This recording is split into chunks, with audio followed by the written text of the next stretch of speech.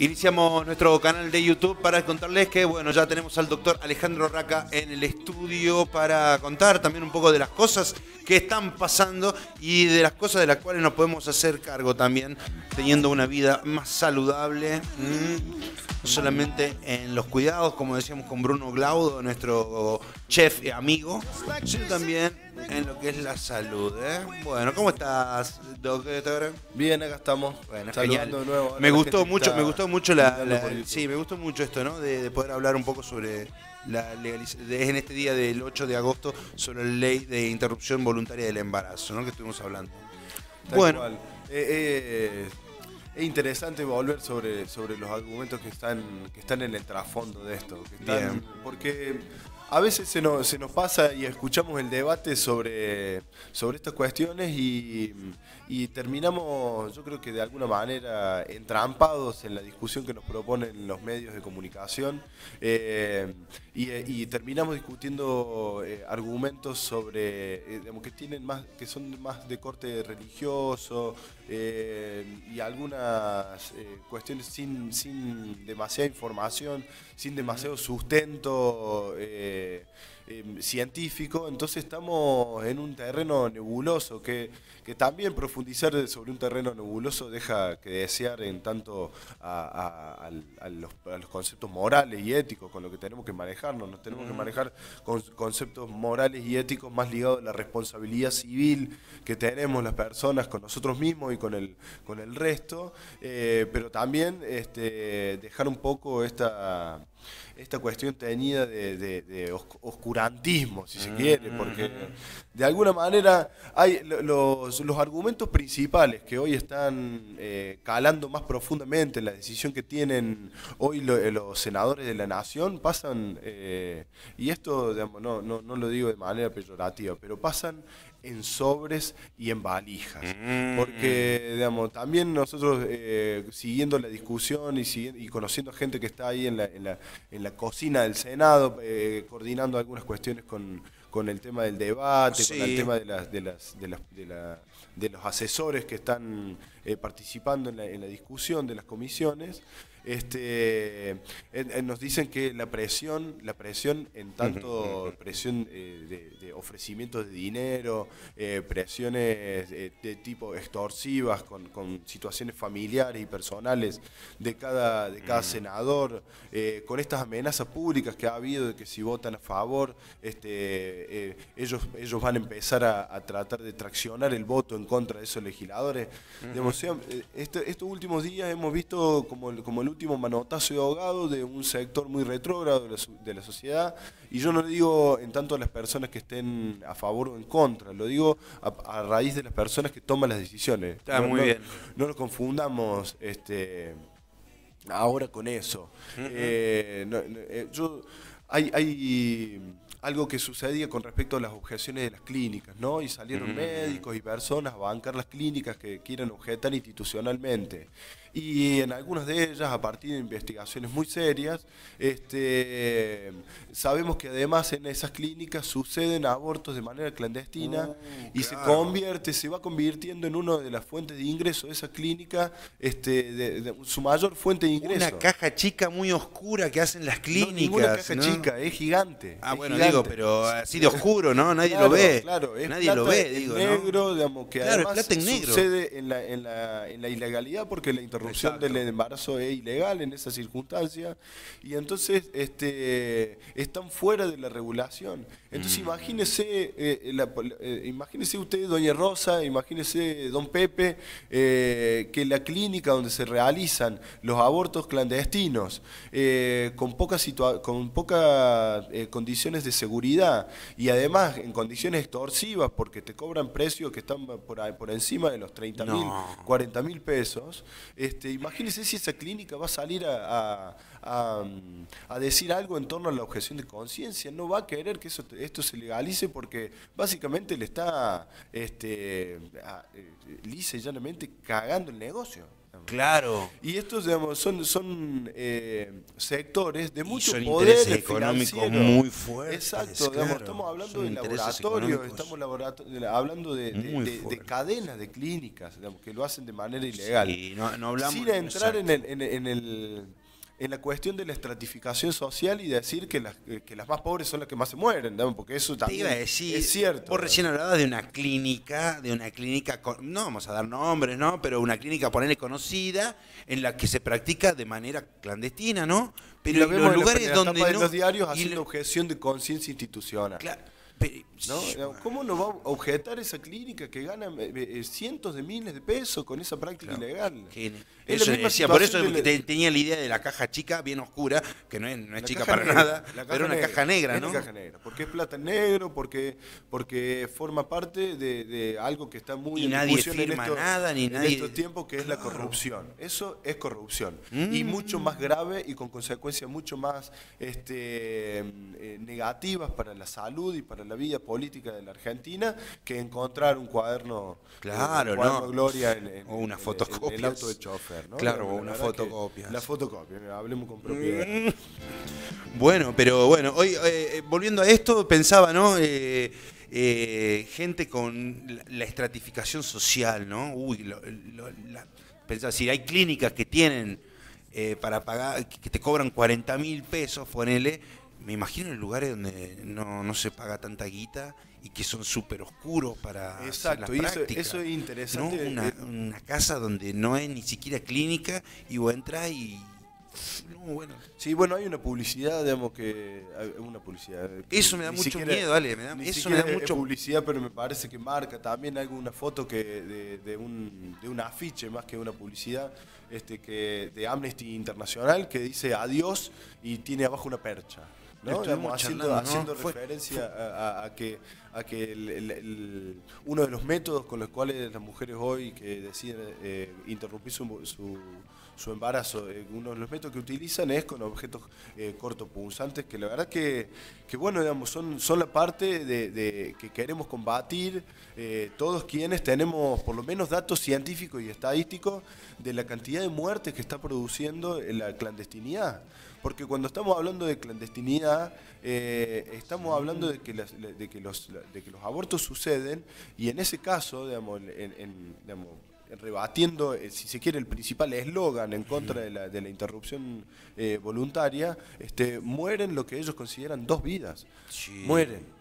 Las dos. madre y el- Exacto. y el bebé, Y entonces, claro. digamos, eh, eh, con, con ese argumento, argumento falso de, la- de la- de las dos vidas, Y este, terminamos condenando a la clandestinidad, a las dos vidas y a la, y a la muerte y, y mutilaciones eh, que, que suceden Sí. digamos, por, por estas cuestiones. Pero era, era interesante, digo, no, no lo vamos a poner tan, tan, para, para, para, tan aquí- gris oscuro. para, para, para. Acá en Córdoba, acá en Córdoba, eh, si vos, por ejemplo, sos víctima, era lo que decíamos, ¿no? si vos sos víctima de un embarazo que personas que fueron, por ejemplo, discapacitadas, que habían sufrido un embarazo, Ni siquiera, y aquí suponete que no vos, hacer, suponete que parece, ¿no? vos, suponete que vos ya tuviste dos o tres hijos y entonces te colocas un DIU. Bueno, vos no te lo vas a colocar, No, pero, no, bueno, suponete que es una mujer, claro, tu, compañera se, se coloca Sí. un se coloca un DIU. Y el método, digamos, porque vos ya no querés más, porque tus obstetras te dijeron, mira, digamos, tenés el útero muy muy muy débil, ya, ya tuvo tres embarazos, quizás haya tres cesáreas, entonces, digamos, ya, eh, ya- y ya tiene una edad donde ya no quiere tener más hijos porque cumplió con su con su con, eh, con- con su vida, digamos, tuvo los hijos que Sí.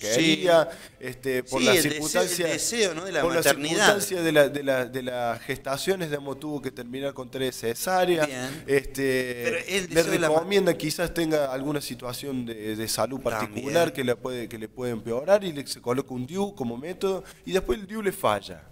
Porque falla, digamos, no, no, no, los métodos anticonceptivos no son eh, absolutos, no, digamos, ni, las, ni Tienen- las pastillas tienen son un absolutas. porcentaje mínimo, ¿no? De, de- de error, pero eh, No, paradójicamente el más efectivo sigue siendo el preservativo, digamos, y paradójicamente seguimos escuchando a los dinosaurios criticando la- el uso de, de preservativo. Pero de todas maneras, digamos, iba a esta cuestión.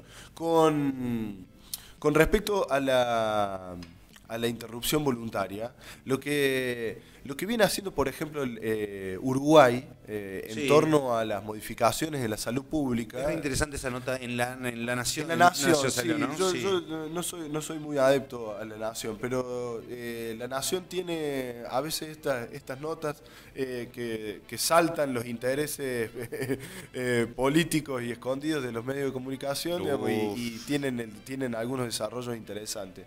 En este caso le hacen, la, le hacen una entrevista muy interesante a Leonel eh, Brioso. Leonel Brioso era el subsecretario del Ministerio de Salud Pública de la Nación de, Uruguay, en el 2012 cuando, cuando, cuando se aprobó la interrupción voluntaria del embarazo en Uruguay.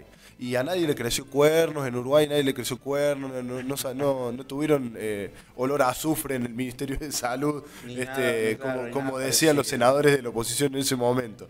Pero él y su equipo estuvieron a cargo de lo que es la reglamentación de la ley, que es como entrarle a la letra fina. Y, lo que cuenta él, que me parece que es algo que, está bueno poner, poner de relieve, es que ellos comenzaron a, tener mejoras en las estadísticas, mejoras en la disminución de la muerte materna, mejoras en la disminución de la mortalidad infantil antes de que, de que se aprobara la ley.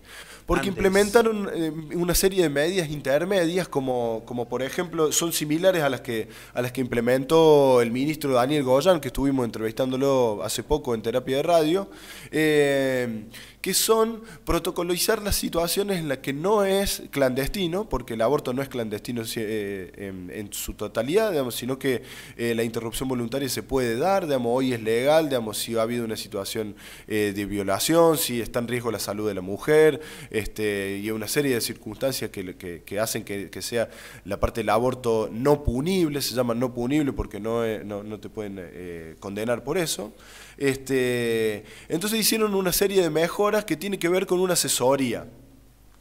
¿Qué hacían en esta asesoría? Lo que hacían era eh, asesorar a las mujeres sobre, sobre el riesgo que implica cada uno de los métodos con los que hoy se realizan eh, aborto de manera clandestina. Bien. ¿no? Porque el, aborto, digamos, solamente por, eh, voluntario, digamos, hasta hoy sigue siendo clandestino, por más que se haya aprobado la ley en diputados. Lamentablemente. Está, la discusión ahora vigente en el Senado y, con los números que, que parece que no son tan prometedores para la jornada de hoy.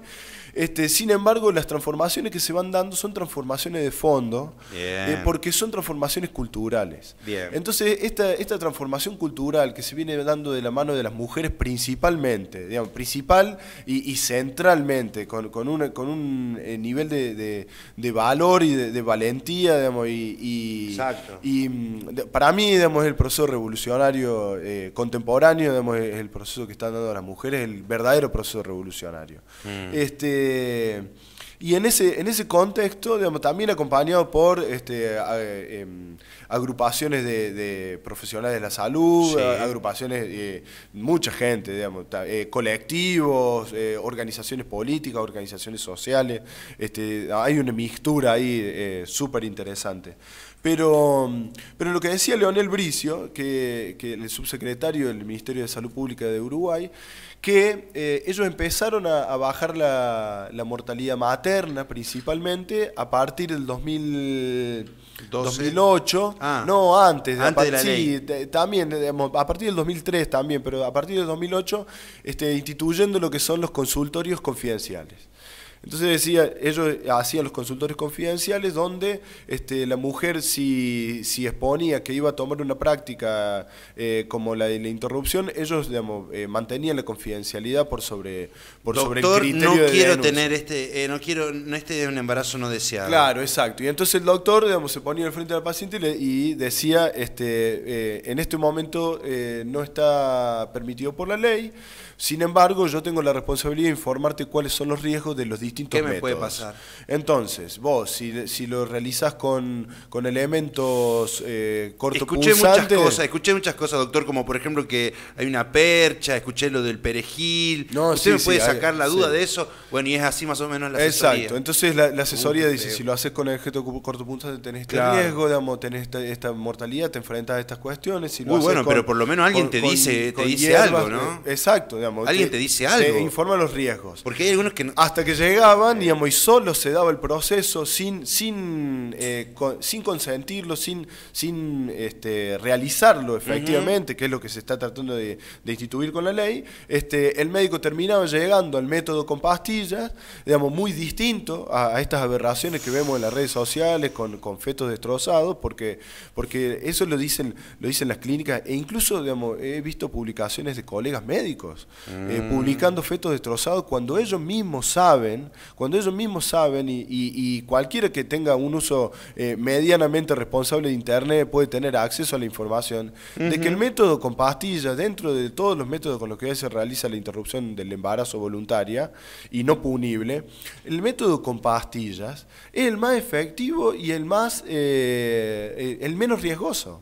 Perfecto. Porque además, digamos, ni siquiera lo, tenés que realizar internada, ni siquiera se realiza en un, en un, en una institución. es, ambulatorio, lo puede, lo puede hacer en su casa, con pastillas, de manera segura y no tener que, meterse en eso. Que el criterio conservador, el médico, capaz que terminamos diciendo, no, venga, hágalo acá, aunque sea en la guardia de un. No, ni siquiera. Mirá vos, eh, digamos, tiene el mismo riesgo digamos, que, que, que, hacer un tratamiento ambulatorio que cualquier otro tratamiento ambulatorio.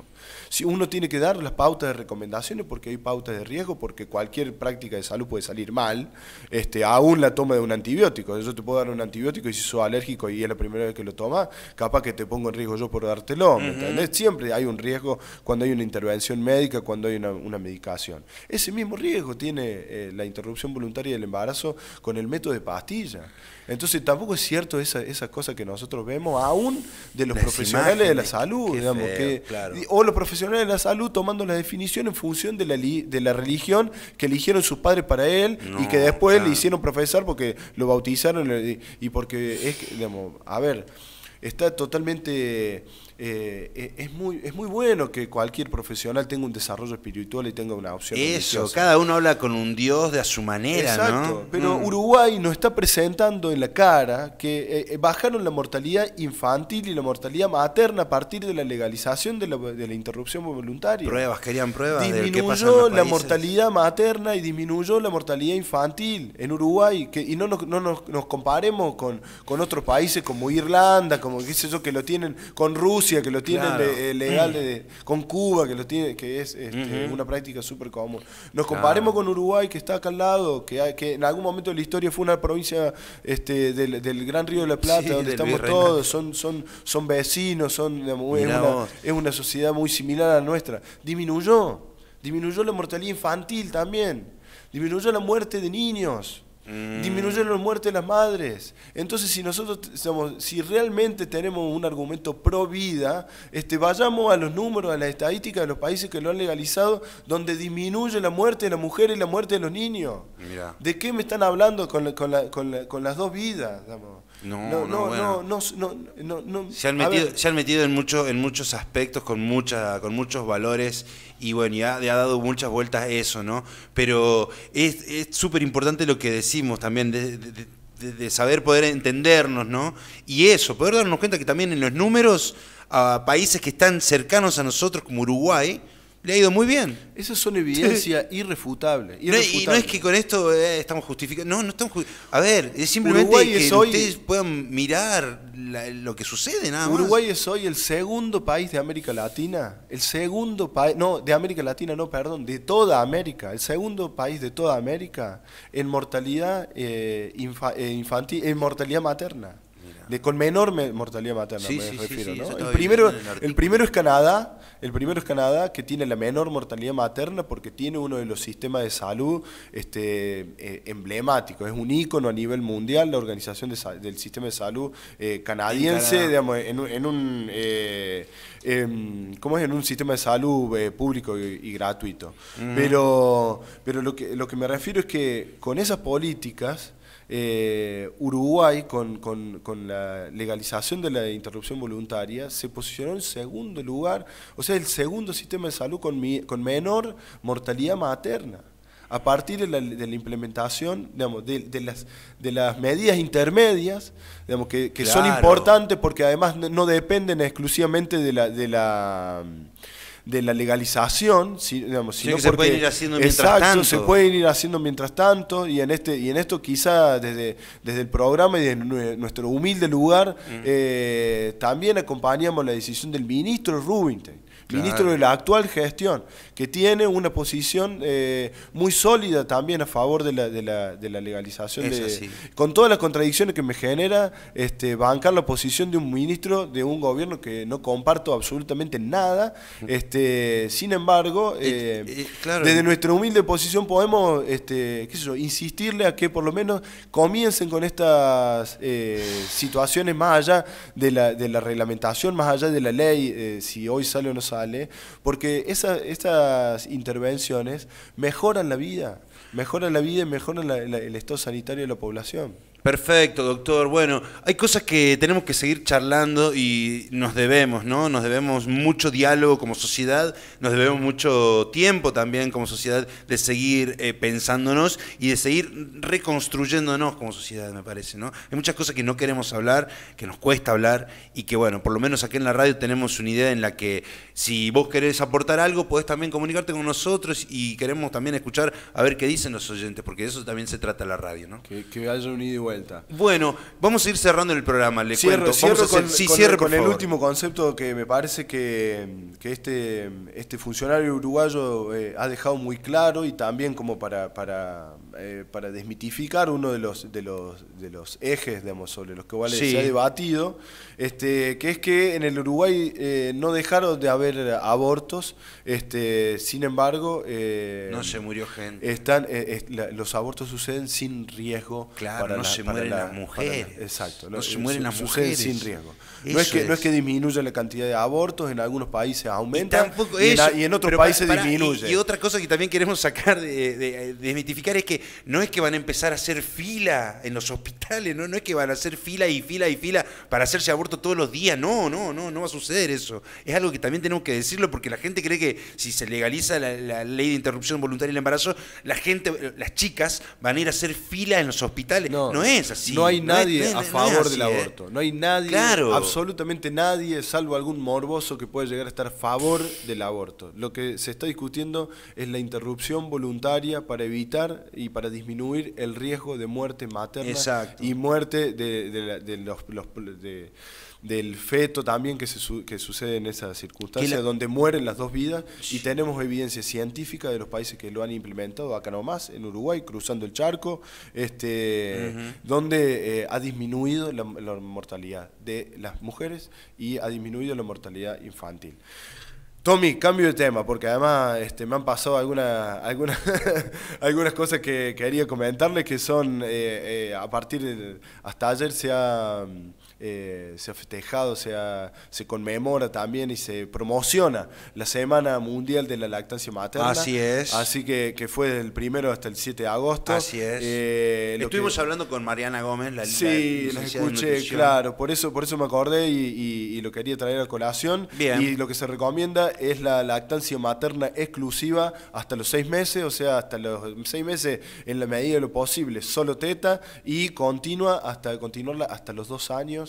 Es, es como la- la- el, el mejor eh, alimento hasta los seis meses y el mejor suplemento alimentario. hasta los Exacto, y un dato más que podés, si no lo sabías, podés ser una, una, una mamá de una mamá que dé la teta a otros bebés, eso yo no sabía. Claro, a sí, varios bebés, sí, si querés. ¿eh? Así que bueno, sí, ese- eso también estuvimos festejando la, la semana de la lactancia materna.